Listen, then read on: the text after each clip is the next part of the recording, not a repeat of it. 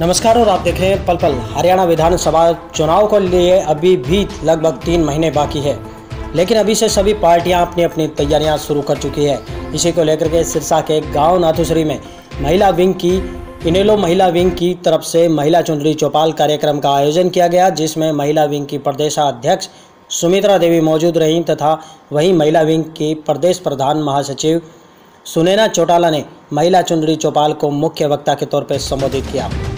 अपने संबोधन में उन्होंने कहा कि ज़्यादा से ज़्यादा महिलाओं को पार्टी से जुड़ने का आह्वान किया और कहा कि महिलाओं को अपने हकों की लड़ाई के लिए पीछे नहीं हटना चाहिए।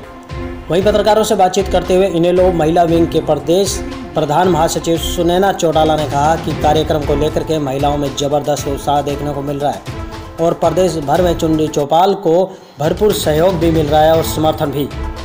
उन्होंने कहा कि आने वाले विधानसभा चुनाव में इनेलो मजबूती के साथ प्रकट होगी और चुनाव लड़ेगी। पार्टी छोड़कर जाने वालों के सवालों का जवाब देते हुए उन्होंने कहा कि स्वार्थी लोग पार्टी छोड़कर जा रहे हैं, लेकिन पार्टी के जो खास कार्यकर्ता हैं, पक्के कार्यकर्ता हैं, वो पार्टी में आज भी मौजूद हैं। वहीं इनेलो एलनाबाद से इनेलो के चुनाव लड़ने पर उन्होंने कहा कि राजनीति में समाज सेवा के लिए वे आई हैं और चुनाव लड़ना और लड़ाना पार्टी का फैसला है। पार्टी का जो भी फैसला होगा, वो मंजूर होगा। एक सवाल का जवाब देते हुए उन्होंने कहा कि प्रदेश में भाजपा सरकार पर भी निशाना साधा और उन्होंने कहा कि महिलाएँ आज कहीं पर भी सुरक्षित नहीं हैं। इसी के साथ आप देख रहे हैं पल पल सिरसा से अमर सिंह जानी की विशेष रिपोर्ट। मेरा मकसद है ज़्यादा से ज़्यादा मेरी माताओं को, मेरी बहनों को मिलना और पार्टी की जो नीतियाँ हैं, जैसे आपने देखा, जो हम करना चाहते हैं उनके लिए, उस उन नीतियों से अवगत कराना। बहुत अच्छा रिस्पांस मिल रहा है। अभी मैं, ये मेरा पांचवा जिला है, जहाँ मैं प्रोग्राम अभी कर रही हूँ। बल्कि मैं ये कहूँगी क्योंकि इस साइड, मुझे पता है बागड़ी इलाके में थोड़ी महिलाएँ शर्माती हैं, बाहर कम निकलती हैं तो हमारा मकसद है उन्हें बाहर निकालना और उन्हें इस मंच के बारे में बताना। बल्कि जहाँ मैं दादरी गई हूँ, बीवीपुर गई हूँ और खरखोदा गई हूँ पिहोवा गई हूँ, पलवल गई हूँ तो वहाँ पे बहुत अच्छा महिलाओं का आपको पता है उस साइड ज़्यादा से ज़्यादा महिलाएँ निकलती हैं और बहुत अच्छे रिस्पांस मिल रहा है।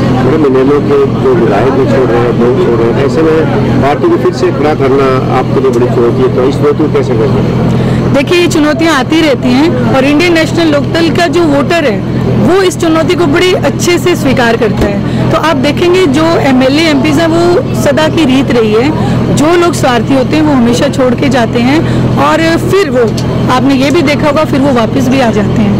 तो ये इस किस्म के जो मैं ये बोलूँगी, जो जाने वाले हैं, उनके से अनुरोध करूँगी कि इस वक्त अगर घर पे कोई समस्या है तो आपको छोड़ के नहीं जाना चाहिए। आपको स्वयं का घर समझ के इसका मतलब आप रहे नहीं हैं। तो लेकिन हमारा जो वोटर है, वो कहीं पे भी नहीं जाता। वो आज भी वहीं पे है, वही अडिक है और मज़बूत है उतना। आप अहमदाबाद से चुनाव लड़ सकते हैं। देखिए ये पार्टी सुप्रीमो डिसाइड करते हैं कि कहाँ से किसको चुनाव लड़ना है। मैं सिर्फ़ और सिर्फ़ राजनीति में समाज सेवा के लिए आई हूँ। मेरा मकसद महिलाओं को आगे लाना और उनको आगे आगे और स्थान दिलाना ही है। पार्टी आदेश देती है तो क्या कुछ अगर पार्टी जो भी मुझे आदेश देगी वो मेरे लिए मान्य होगा। विधानसभा चुनाव बिल्कुल नज़दीक है तो किस तरह इनेलो की तैयारी किस तरह है? आप देख रहे हैं इनेलो की तैयारी हमेशा से ही सही रहती है।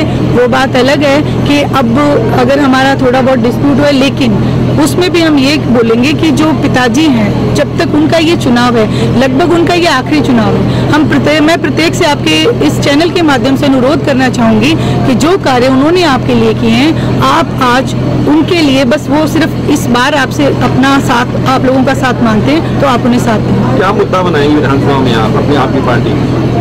मुद्दे बहुत हैं जी। विपक्ष ने आज देखो आप तेल बढ़ा दिया है और ये देखें आपके फ़ीस भी बढ़ा दी है जैसे मैंने बोला अभी। और उसके अलावा भी महिलाओं की शिक्षा और सुरक्षा के लिए कोई भी अग्रसर कार्य नहीं किए जाते हैं। महिला सिक्योर है बिल्कुल भी सिक्योर नहीं है जी।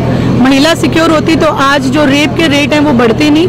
दूसरा महिला सिक्योर मैं तब मानती हूँ कि जब महिला आधी रात को भी यदि घर से बाहर निकलने की हिम्मत कर सके ज़रूरत कर सके ऐसा माहौल उसे मिले। तो जो बजट पेश किया इसमें क्या है? बजट तो बिल्कुल ही आप देख ही रहे हैं कि मैंने अभी बताया डीजल बढ़ा दिया सोना बढ़ा दिया चांदी बढ़ा दिया। तो गरीब को जो ये बोलती है सरकार की गरीब आ, की सरकार है तो उनको तो ये मार रहे हैं। बिल्कुल तो मैं बोलूँगी सबको जो वोटर्स हैं कि आप जागरूक हों और अपने कैंडिडेट को देखिए।